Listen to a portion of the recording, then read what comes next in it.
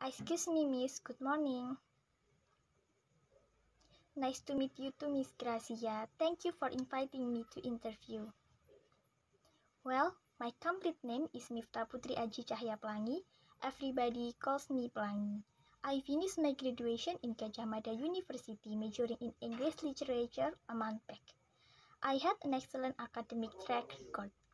Although I'm a fresher, I had an academic and co-curricular experience that can help me hone my leadership and my collaboration skills. And I also have taken English course to upgrade my skills in this language. My big motivation, I want to improve myself to be a trainer in this company exactly English trainer. And about my reason, my English teacher in senior high school inspired me to be an English trainer. She is a good and creative teacher for me. That was amazing to see all of her students still pay attention and were excited to join her class. So I want to be a great English teacher like her.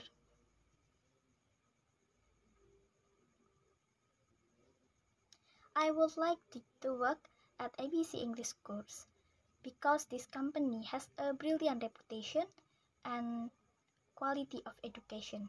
This company not just focus on academics, but also focus on character building and that's match perfectly with my philosophy.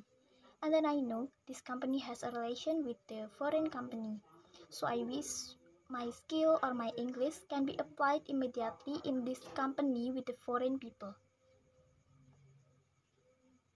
I have two important values in my life. The first is self-discipline and the second is passion.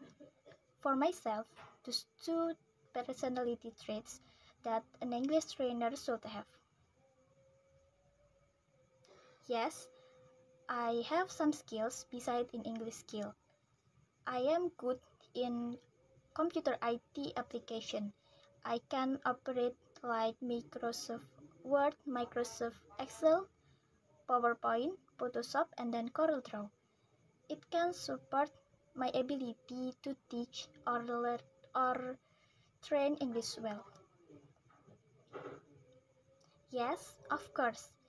I will integrate technology in my lesson so the student can can learn in different ways and they are more excited to learn with my subject.